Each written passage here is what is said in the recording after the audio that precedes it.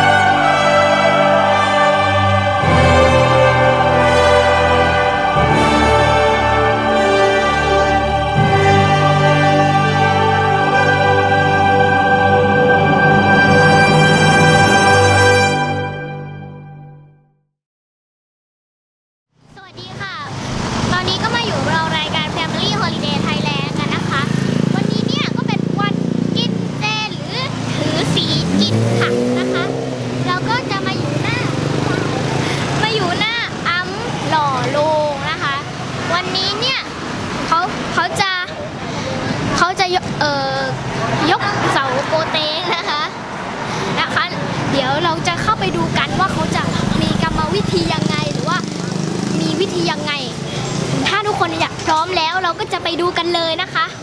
ตามหนูมาเลยนะคะ เราจะได้ไปดูกันว่าจะเป็นอย่างไรนะคะ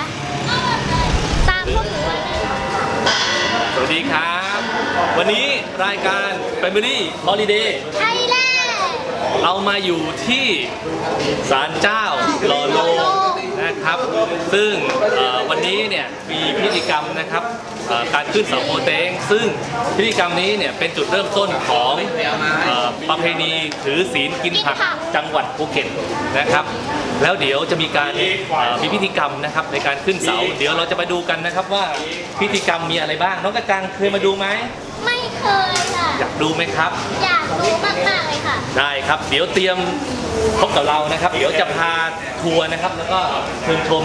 ศาลเจ้าต่างเอ่อศาลเจ้าภายในศาลเจ้าว่ามีอะไรบ้างนะครับ มีองค์พระอะไรบ้าง และประวัติของศาลเจ้าความเป็นมาเป็นอย่างไร พิธีกรรมจะเป็นยังไงนะครับ ติดตามชมครับโอเค เราก็ถึงเวลาแล้วนะคะ เราจะพาทุกๆท่านนะคะไปชมกันเลยว่า ในศาลเจ้านี้จะมีอะไรกันไปดูกันเลย แล้วก็มา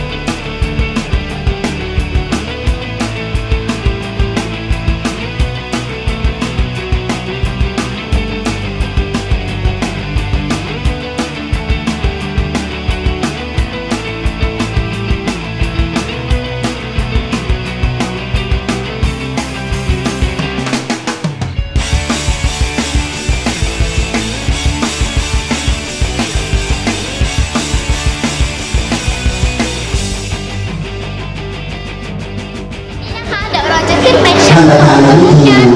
เดี๋ยวทุกคนตามร่วมสายคุ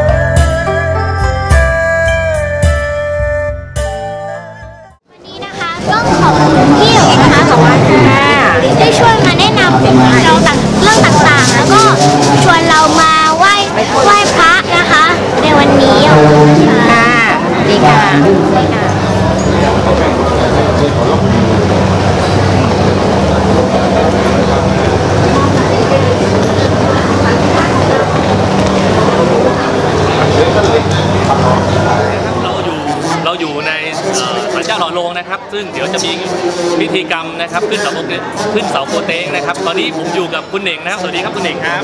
ครับผมคุณเน่งแนะนำตัวกับท่านผู้ชมหน่อยครับครับสวัสดีครับผมคุณช่วยสิทธิกุลนะครับเป็นหัวหน้าฝ่ายพิธีกรรมของศาลเจ้าสุรินทร์สองมอโลกครับพิธีกรรมครับผมแล้วเอ่อประวัติของศาลเจ้าหล่อโลงเนี่ยครับเอ่อมีความเป็นมายังไงครับผมครับเดิมทีศาลเจ้าแห่งนี้นะครับ ได้สร้างขึ้นจากมติของเป็นการรักสิทธิ์ของมาพ่อจิ้นเหลงครับ ครับตั้งแต่ปี2520 2520 ครับ ได้ร่วมกันบริจาคที่ดินครับ เพราะว่าแล้วก็ซื้อออกไปจากชาวบ้านในบริเวณ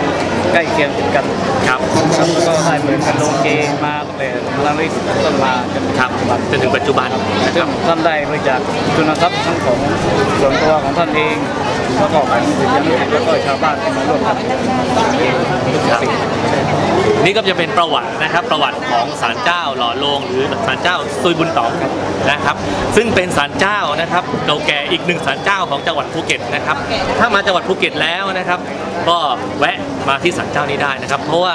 รอบรอบทิศทางนะครับ ก็จะเจอสถาปัตยกรรมนะครับที่ที่ที่ทรงที่ทรงคุณค่านะครับขอบคุณคุณเด่งมากเลยครับผม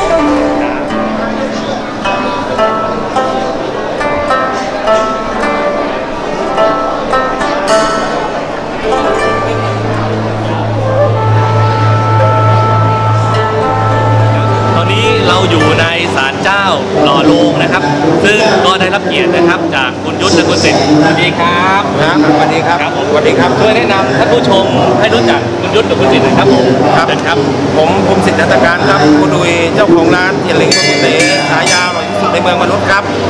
ช่วงนี้นะฮะตอนนี้พวกเราอยู่กันที่ศาลเจ้าโลโลวงหรือศาลเจ้าคุณตองนะฮะ เพื่อเร็วๆนี้จะทำพิธีขึ้นเสาโบเต็งนะครับ เป็นสัญญาณของการถือศีลกินผักของชาวจังหวัดภูเก็ต ที่เรานับถือกันมาเป็นร้อยร้อยๆปีนะครับครับผมคุณยุทธครับครับสวัสดีครับผมอาธีรยุทธ์ล้อเลื่อนครับเป็นหัวหน้าม้าทรงศาลเจ้าหล่อโรงครับครับผมวันนี้เนี่ยเราก็จะมีการขึ้นเสาโกเต้งใช่ไหมครับคุณยุทธคุณสิทธิ์ใช่ฮะนะครับใช่ฮะซึ่งก็ถือเป็นจุดเริ่มต้นของประเพณีถือศีลกินผักจังหวัดภูเก็ตเลยใช่ครับซึ่งก็ถือว่าเป็นเอ่อเป็นจุดเริ่มต้นของประเพณีถือศีลกินเจทั่วประเทศเหมือนกัน ใช่ฮะนะครับใช่วันนี้เนี่ยเราจะมีพิธีการหรือมีพิธีกรรมอย่างไรรบกวนช่วยช่วยอธิบายหน่อยครับให้ท่านผู้ฟังได้ได้รับทราบครับวันนี้พิธีกรรมวันนี้ผมยุทธนะฮะ อ่าเดี๋ยวประมาณ5โมงครึ่ง 5โมง45เนี่ยเขาจะทำพิธีล้างอาถรรพ์บริเวณนี้ แล้วก็ทำพิธีขึ้นขึ้นเสาโกเตงคือเป็นสัญลักษณ์ในการถือถิ่งกินเจปีอาปีนี้ แล้วก็ช่วงเวลาเที่ยงคืนก็จะมีเวลาอัญเชิญอ่ายี่หวงไตเต และหยกของทรงเตนำเต้าปักเต้าเชฟเข้ามาประทับเป็นเป็นเป็นนิมิตหมายให้ถือว่าเป็นถือในการ เริ่มต้นในการกินเจอ๋อครับครับครับก็กำหนดการก็จะมีอย่างนี้เดี๋ยวยังไง เดี๋ยวเราจะพาท่านผู้ชมนะครับเอ่อไปชมพิธีการขึ้นเสาโกเต้งนะครับ ว่าพิธีกรรมนี้ศักดิ์สิทธิ์แบบไหนครั้งอย่างไรติดตามชมครับ ครับผมตอนนี้นะครับผมก็ได้มาอยู่กับโกพงนะครับ แล้วก็โอ้โหนะครับเดี๋ยวรบกวนโกพงช่วยแนะนำตัวให้กับน้องจำตัวเองว่าเราคือใครชื่อนามสกุลอะไรอย่างเงี้ยครับให้กับผู้ชมได้รู้จักสวัสดีครับ ผมนายกระพงรัตนวิเชียนนะฮะเป็นร่างทรงอยู่ที่นี่นะครับ ลงพระติ่งกบผู้เส้งอองนะฮะก็อยู่ที่สันเจ้าหล่อลงเนี่ยอ่า20 กว่าปีแล้วครับครับ ก็ครับครับเดี๋ยวให้พี่นะครับเป็นคนช่วยอ่าอยากสอบถามอะไรได้เกี่ยวกับได้ สันเจ้าครับเห็นครับผมอะแล้วโอ้โหครับโอ้โหชื่อชื่อชื่อสินเรือนามอะไรเดี๋ยวช่วยแนะนำหน่อยครับผมครับก็ ปีนี้เรามากินเจมาช่วยงานที่ศาลเจ้าอยู่ฝ่ายประชาสัมพันธ์ภาษาอังกฤษครับครับผมก็ได้รู้จักทั้งสองท่านแล้วนะครับ เดี๋ยวผมรบกวนก็คงช่วยอธิบายนิดนึงนะครับว่ากำหนดการของวันนี้อะครับพิธีกรรมต่างๆ มีอะไรบ้างครับผม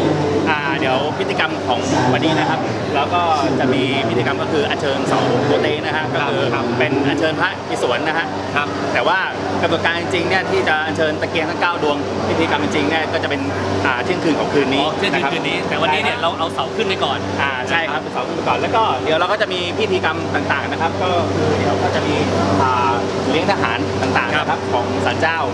แล้วก็มีพิธีกรรมก็คือ